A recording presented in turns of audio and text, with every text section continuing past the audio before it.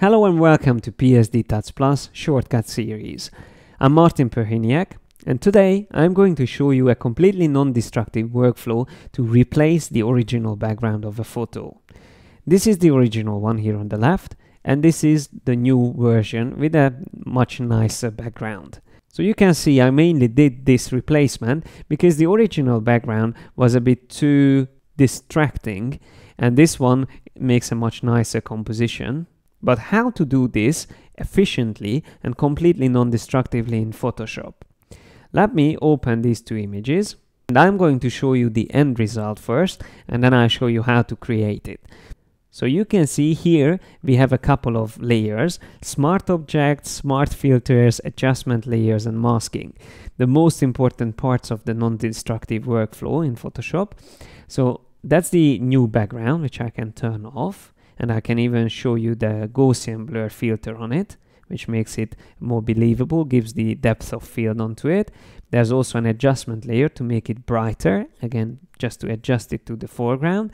There we have a smart filter for the foreground as well to see a bit more details, a shadow highlights uh, filter, which is used as a smart filter. And then if I double click on the uh, smart object, there is the mask inside the smart object, which I can turn off, and there's the original image. So everything is there inside this editing. So uh, you can see that I can change whatever I want. I can go back, double click on any of the filters and adjust it. So everything is completely non-destructive. Now let me show you how I did this. So first of all, I will need to make a selection of the background of this image. So let me use uh, the magic wand or the quick selection tool might be better in this case. So I make a selection here on the left side, first of all. Okay, then I make a selection on the right side and my selection is actually quite good. The only problem is probably here on the head. I can hold down Alt and just draw over it to remove uh, that part from the selection and maybe the same thing here on the right. But remember the quick selection tool is not really a fine uh, it's not for fine tuning a selection.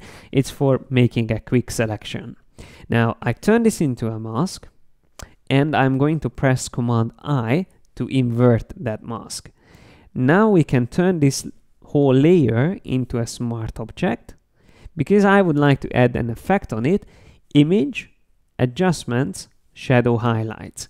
Even though this is not a filter, this can be still added as a smart filter to this layer once it's a smart object. So smart filter, shadow highlights, and I would like to increase the amount of the shadows so to make it a bit brighter, the shadows, something like that. I click on OK, and as you can see, the shadow highlights now added as a smart filter to this layer. Okay, let's just select that image that I wanted to use. This is the image, which we can use as a background. Use the move tool and drag and drop it onto the other image. Then we can turn it off and I can turn off the other one as well and move this image behind uh, our character, the portrait and we can decide later on where to place this okay? And I would like to also use a smart filter on this. I would like to blur this image. So I right click on it choose convert to smart object okay? And then I am going to add the blur. From the filter library blur Gaussian blur. And I will probably use radius 10 pixels is fine. Let's see before and after. So this looks much more believable now now that we we know that the focus one on was on the person so we can always add this Gaussian blur and uh, we can click on OK. So if you look at the original image if you double click on the smart object of the man turn it off you can see already this background is blurred out. But of course the further away the elements in the background will get the more blurrier they will look like so uh, let me just turn off the smart object, go back to the image itself. And the only problem is that the background is too dark compared to the highlights here in the foreground. So there are very strong highlights, even the man is in, sh in shades, we can still see that there are highlights on his hat and uh, shirt. So we need to make sure the background looks similar to that.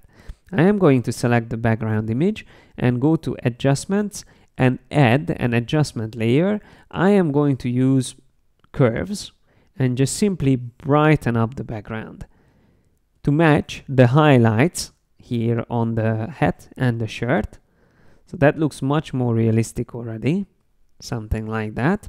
Okay, I can double click on properties to see more of my layers panel and it looks really good. The only problem now is that I see uh, details from the trees here in the foreground, which is a bit distracting. If I'm working uh, with separate images, I might as well get rid of this. If I use the move tool and move it around, I can see, okay, there are more details here on the left or more details there on the right. It might even work, so it might be a bit more believable to use these because then we can see that the man is actually in the shadow okay of the in the shades of the tree but in the background there's more sunlight. So we can either use this part here on the right or on the left or we can always use free transform and make this smaller. And by the way because I'm using a, a smart object I won't lose any detail on the way so I can always make this smaller. The only problem is here at the bottom we don't have enough details so I will probably need to make this a bit bigger something like that. So that's that's the size I can still use. Okay. It looks okay but I prefer to have it bigger. So I just make it a little bit bigger. And I probably will use this part here on the left. So this looks the best for me this composition. But if I want to get rid of this cloned detail here I would go into the smart object. So double click on the smart object create a new layer inside the smart object and create the retouch layer there. Because if I use uh, cloning here or we can even use a quick selection of the this part okay? And use the patch tool with sample all layers option turned on and just drag this detail first here to retouch from the sky and now you can see we got rid of it and still kept everything on a separate layer. Now if I press save or command S and go back to the original image, you can see we not only got rid of that detail, but also already applied the Gaussian blur on top of it. Because it's a smart filter, it all works on top of whatever you do inside the smart object. If I decide to use the branch again, I can double click on the smart object, turn off the retouch layer, save it again, but still keep it there. Maybe we are working for a client, we can show different versions of it. Now we have the branches back again together with the Gaussian blur. And I wanted to show you one more thing. If we have the branches there, there might be a bit of a problem because the branches are actually very close to us while the background is much further away. So how can we make it look like the branches are more in focus while the background is more out of focus? So to get the depth of field uh, correctly in the background, the way we can do it is to go to the smart filters mask, the Gaussian blur smart filters mask, and uh, use the brush tool. I'm going to use a soft edge brush in this case, and just change the color from white to a bit darker, something like probably 80%. Uh, the brightness of the of the color is 80% and with that if I start drawing over the branches I can fade out the blur effect on these details but still keep everything else blurred out in the image. So by using like a bright gray color I could make a manual adjustment using this mask. If I alt click on the mask, you can see what I did there. Okay. And if I turn on and off the mask, this was before. Let me zoom a bit closer. So this is when it's completely blurred with the 10 radius blur.